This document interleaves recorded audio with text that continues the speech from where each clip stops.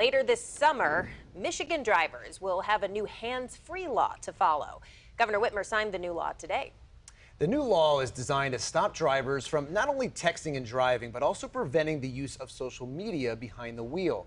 Our Capitol reporter Elle Myers joins us tonight in studio to talk all about it. Hi, team. It's nice to be with you here in studio. And you're right.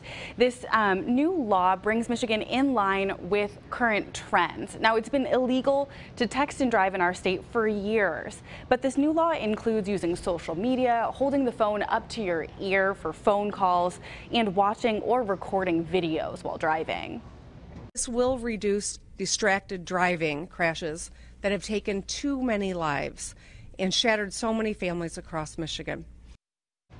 We took a look at this legislation when it was just a bill about a month ago, and lawmakers told me that other states have seen a significant decrease in avoidable deaths on their roadways.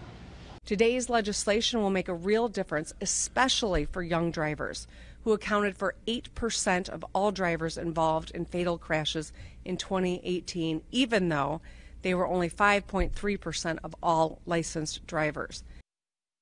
Now, this new law doesn't take effect today. Law enforcement officers will begin cracking down starting on June 30th after an education campaign, so you know what to expect. And an important note for you guys, you can still use Bluetooth in your car after this new law takes effect. Okay, that was one of my first questions. Yep. What about all of the infotainment? You don't necessarily need to use your phone, but you're kind of messing with just as much mm -hmm. stuff in mm-hmm. there. Is yep. that okay? Those simple one touches, those are totally okay. But if you're there with your phone and you're scrolling through through Instagram, that is not okay anymore. So what happens if you get caught?